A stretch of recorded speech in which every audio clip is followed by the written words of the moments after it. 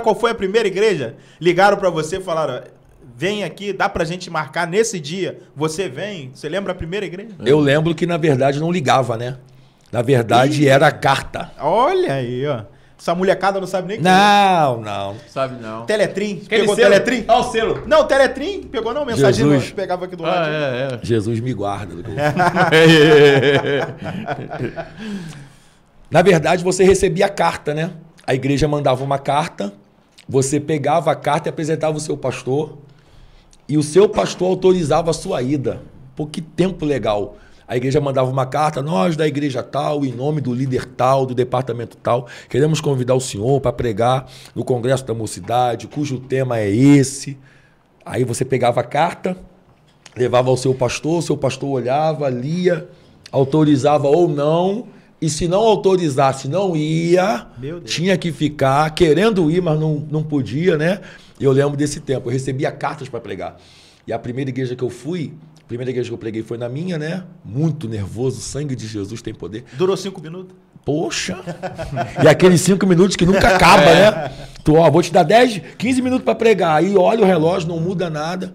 Mas eu lembro que era da, da, da carta. Você recebia a carta, passava o seu pastor, o seu pastor orientava, você ia em nome dele, agradecia a igreja pelo convite, né? dava referência ao pastor. Às vezes, a igreja ligava.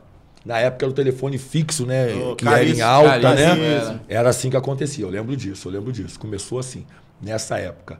Hoje não, hoje é o zap, né? É o Zap. Hoje é o zap, a tecnologia. Tu lembra qual foi a primeira igreja? Não, né? Muito tempo, né? Olha, pastor, a primeira igreja que eu saí, eu não lembro. Olha. eu E a lembro mensagem? pri- eu lembro a primeira igreja que eu preguei, que foi a minha, e eu lembro a mensagem. Eu preguei sobre livramento na fornalha. A gente nunca esquece, né? Não, não. Eu lembro da minha não, também. não. Moisés e. Livramento e, é. na fornalha. Sadak, Mesaque e Abidinego. Isso Lembro aí, disso. aí. Coisa Foi a linda. primeira mensagem eu que eu lembro preguei. também a minha primeira. Meu Deus. E o problema? Agora a gente vai pros problemas, depois vem a solução, né? Meu Deus. Meu Deus. Já que tá pregando já, hein? já pregou em todos os estados? Do... Não, não, não, não, não. Deve faltar uns cinco aí. De vez em quando eu olho, conto lá, peço, Jesus, falta esse, Jesus, mapinha, não faz tá aqui. preenchido. Tem não que tá acabar com as preenchido. bandeiras, gente. Ah, é. Tem. Qual foi o pior problema que tu já passou em, em algum lugar, que te convidaram? Uma saia justa, uma saia justa, algum problema aí? Antes dele responder, posso falar? Fala, pastor. Fala que eu Pegou tô... muito envelope vazio? Vocês sempre com essa pergunta, né, pastor? Daqui a pouco ele vai querer falar sobre dízimo, É, Vai oferta. entrar em dinheiro. Mas vai- eu gosto, eu gosto de falar sobre isso, não tem problema É? não, gosto. Olha. Eu acho que tudo tem que ser falado com clareza, né? É, isso Isso aí. aí é verdade. Mas é, é, uma coisa que aconteceu com. é, Teve, teve muitas, né? Vou citar duas. Posso duas? Fica à vontade. Uma delas, ela foi mais emocional do que problemática, né, em relação ao ministério. Foi justamente quando meu pai faleceu.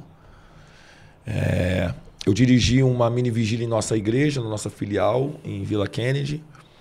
E acabando a mini vigília, mini vigília fui para casa, peguei a mala e fui para Belo Horizonte pregar. Na cidade de Santa Luzia. O pessoal sempre me recebe lá com muito carinho. Quando eu cheguei em Santa Luzia, no aeroporto, minha esposa mandou mensagem falando que estava indo para o hospital com meu pai, né? E passou um pouco de tempo, ela já ligou comunicando a morte do meu pai. Eu tinha acabado de chegar lá. E aí o pastor perguntou o que, que tinha acontecido, eu expliquei a ele e ele perguntou se eu queria pegar um voo e voltar para casa para fazer as coisas que tinham que ser feitas pelo enterro do meu pai. E eu respondi para ele assim, eu falei, pastor, se eu voltar para casa agora, meu pai levanta. Se eu voltar, ele ressuscita. Porque se o senhor falar que ele vai levantar, que ele vai ressuscitar, que ele vai viver, eu volto a pé. Ele falou assim para mim: não vai não, meu filho. Perdi minha mãe também semana passada, eu sei o que, que está passando. Eu falei: pois bem, pastor, tudo que eu tinha que fazer como filho, como pastor, como amigo, eu fiz. Então agora me deixa no hotel, no horário do culto, só me pega, faço o que tem que fazer, depois disso a gente pensa em voltar para casa. Desliguei o telefone, chorei naquele dia. Meu pastor fala até hoje que tentava me ligar, meu pastor Elias tentava me ligar, não conseguia. Eu desliguei o telefone, todo mundo preocupado. Fui para o culto, preguei, acabou ali, resolvemos como voltar para casa. Então foi uma experiência que marcou demais. Eu poderia ter voltado para casa e não foi é, desleixo da minha parte.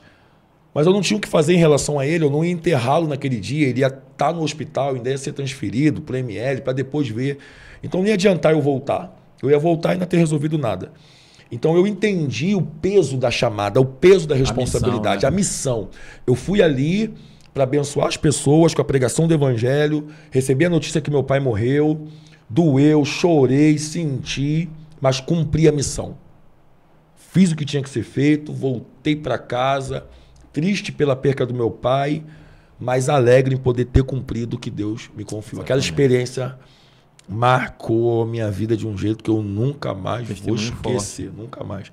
E outra coisa que aconteceu, aí já é outro corte, pega essa. Eu fui convidado para pregar, isso deve ter uns 12 anos.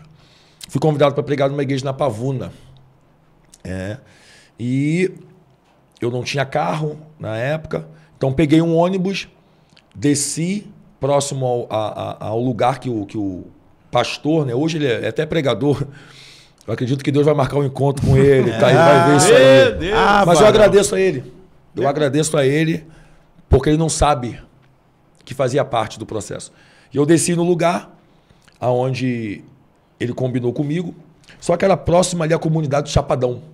Ali. E na época ali tinha muito carro queimado. Os caras desciam, queimavam. Ali estava muito, muito perigoso. Tinha um posto de gasolina próximo. Eu falei, ah, vou ficar no posto. Tem a lojinha de conveniência, vou ficar por ali, que é mais seguro. E ele tá me ligando. Cadê você? Eu falei, tô no posto, pastor, tô esperando o senhor, porque eu já passo, estão queimando o carro aqui, a polícia pode passar e tal. Mas eu tô esperando você aqui há mó tempão. Eu falei, pastor, eu tô aqui há meia hora, tô no posto, não tô vendo o senhor não. Porque o posto era perto. Enfim, ele, tô chegando aí. Aí chegou, desceu o carro. Quando eu abri a porta para entrar, o semblante da esposa dele estava tava, tava diferente, estava preocupado, alguma coisa assim. E ele falou assim para mim: Não sabe ver a hora, não? Meu Deus. Eu falei: Como assim, pastor? Tô aqui esperando tanto tempo. Eu falei: Então, pastor, tô aqui também há meia hora. E avisei o senhor e tal. Aí ele: Entra aí. Aí eu entrei. Quando eu entrei, nem fechei a porta, ele arrancou. E depois ele falou assim para mim: Tu não quer pregar, não? Eu falei, pastor, se eu não quisesse pregar, eu não estaria aqui. Eu não estaria esperando o senhor, não teria entrado no carro. Ele faz o seguinte: desce do carro agora. Eu lembro como se fosse hoje. Desce do carro agora. E depois a gente conversa. Eu, sim, senhor.